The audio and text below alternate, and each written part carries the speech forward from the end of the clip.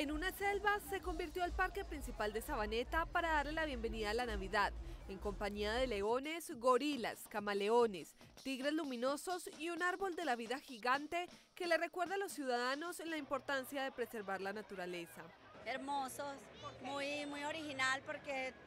trae toda la naturaleza y es muy bonito para los niños. Creo que es una oportunidad muy bonita para todas las personas que vivimos en Sabaneta de tener un espacio lindo para compartir en familia, como puedes ver todo está full.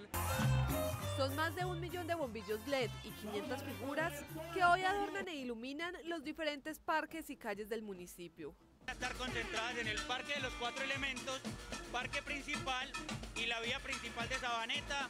donde la idea es que la gente, además de venir a ver esta maravilla, se lleve un mensaje desde Sabaneta. La celebración navideña en Sabaneta viene cargada con shows musicales, shows de agua, un video mapping en la iglesia Santa Elena y diferentes figuras interactivas.